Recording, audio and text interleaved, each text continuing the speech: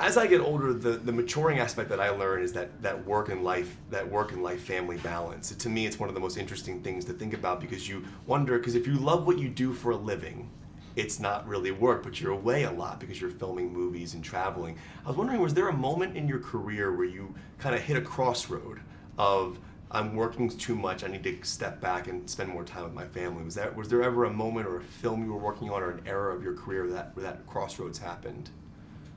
I'm kind of embarrassed to say I, I, I haven't had that. Hmm. Uh, usually the family uh, has has participated. A lot of them seem to want to go in a similar direction, and so uh, it seems to work out that you can sometimes have mm. both. Mm. but I I do uh, I, I as, as, you get to my age now, I think I feel more interested in the family aspect as I do as a younger person. Mm. As a younger person, you're a little more selfish in the, your career, and as Dianne could tell you, or any actor, they, it's such an odd profession because it's feast or famine. You know, there's a lot of famine, and when you're in the famine things, you're so glad to be working at anything. Mm.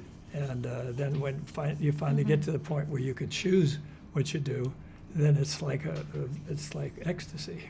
That's amazing. Not quite, but it's good. Yeah. One thing I do love about you as a filmmaker, and correct me if I'm wrong, you, you, you do very minimal amount of takes. I believe one or two takes, if I'm, if I'm correct on that. I'm, I'm, I'm not sure. It depends on what it's what it calls for. Okay. Uh, if, if I've done uh, a lot of takes, but usually if it's some something is going wrong technically, or the actor's having problems or something, and but but you know if if I, I, sort of pride myself on the casting aspect. If you if you cast it right and you get people in the right mood and and you don't uh, make a lot of racket and get everybody upset, uh, you uh, f- find that people work well together, and uh, that a lot of it takes care of itself. But there's no real rule on how much. But I'm trying for it on the first take, yeah. and I love the fact that that, that see, to see an actor run it over his or her brain uh, the, for the first time. I, I, found that really exciting.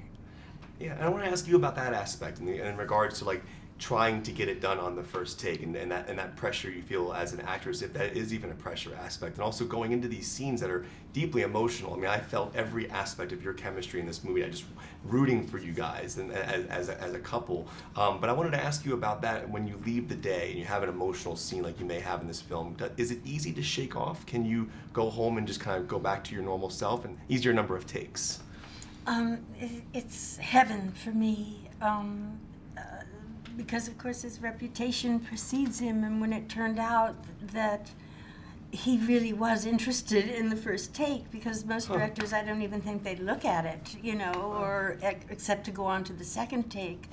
Um, but uh, a, a director who knows what he wants doesn't need a lot of takes. Mm. I mean, unless something does go wrong. And um, with working with Clint, he's surrounded by people who've been with him, you know, for 20 years or 30 years, and things. It's just like silk off a spool. Hmm. I mean, and it was wonderful because you, you're not bombarded with um, extraneous.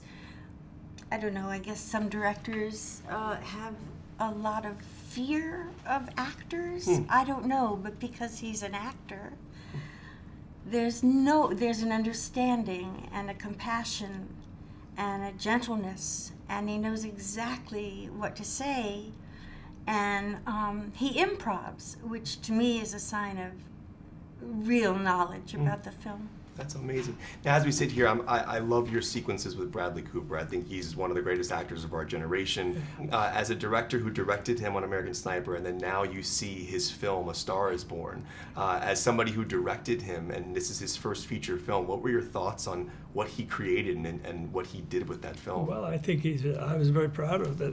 Actually, what he, do, he had done there. He was, uh, he had a, a, a vision of how he wanted to shoot it and he had he was totally responsible for casting a singer rather than a professional actor. I mean, though, and she turned out to be brilliant. And he, he did. I mean, every, these decisions were all his. Sometimes against the, the advice of other people.